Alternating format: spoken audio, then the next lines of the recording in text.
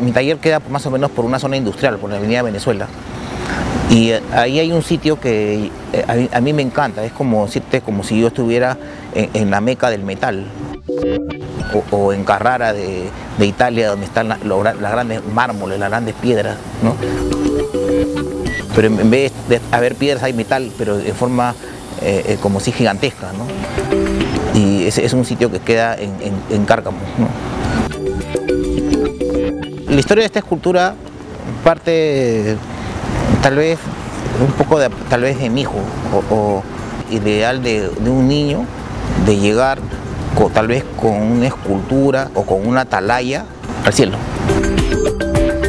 Yo tengo más o menos 15 obras monumentales en China, en Estados Unidos también, en varias ciudades de, entre Beijing, Shanghái, Nanchang, Sichuan, eh, eh, Kunming.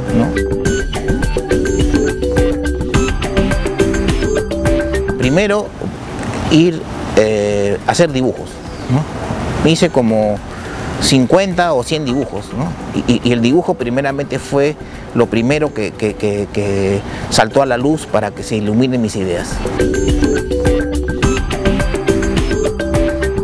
La nueva columna sin fin es, como decirle una nueva versión de, lo que es, era la escultura, la columna que hizo en madera Brancusi, ¿no? Y después la hizo en bronce, ¿no? Es una versión hecha en, estructuras metálicas, tubos, eh, chatarra, ¿no? Y, planchas de metal, de, un grosor bien bastante especial, grueso, y tubos, ¿no? Y engranajes, ¿no? Eh, eh, yo siempre busco elementos un poquito fuertes, formas geométricas que también las construyo, ¿no? en base a mis dibujos que hago, es como hacer una máquina enorme. ¿no? Yo quería hacer la escultura y no encontraba un taller grande como para hacerlo. Y había talleres que, me cobraban demasiado dinero, ¿no? como decirle 1.500 dólares por, por, alquilarme un taller. Entonces yo tenía que entregarla para la muestra del MAC. Entonces eh, mi taller no daba como para, para, como decirte, hacer una escultura así. Entonces yo me compré una carreta, esas hidráulicas, y un, y como si un, un burrito eso de madera, ¿no? Y entonces eh, yo empecé a hacer la escultura ahí, en la calle, ¿no? Agarré una soldadora que tengo chiquita y, empecé a soldar en la calle, ¿no? Y así, así, y, así eh, en forma facetada cada parte de, la escultura, ¿no?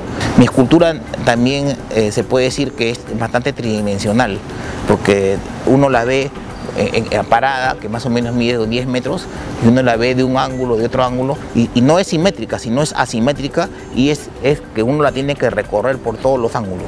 Como una máquina del tiempo que va subiendo, pues arriba, ¿no? hasta llegar a la punta, ¿no? es sin fin. Esa es la vuelta de mi escultura. Entonces eh, fui buscando cada, cada, cosa por cada cosita. ¿no? Un trabajo medio como de chino. primero, primero la base que ya está, ¿no? después se va colocando eh, cada bloque y encima en cada bloque se va empernando. Y, entre cada bloque también se le pone como un, como un, un jeve, ¿no? Para que impermeabilice cuando llueva, ¿no? Todo, toda la cosa la tengo bien calculada. Yo hago mis esculturas bastante, con, metal bastante grueso, ¿no?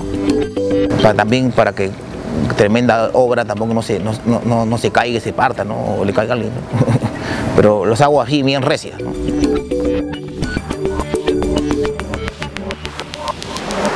Escogí ese sitio que es medio íntimo porque yo considero que ahí le faltaba una escultura, sinceramente. ¿no? A veces yo me he perdido, pues, en Nueva York o me he perdido en, China, ¿no? que tú te volteas así y y encima gigante ¿no? y roja, ¿no? así. ¿no?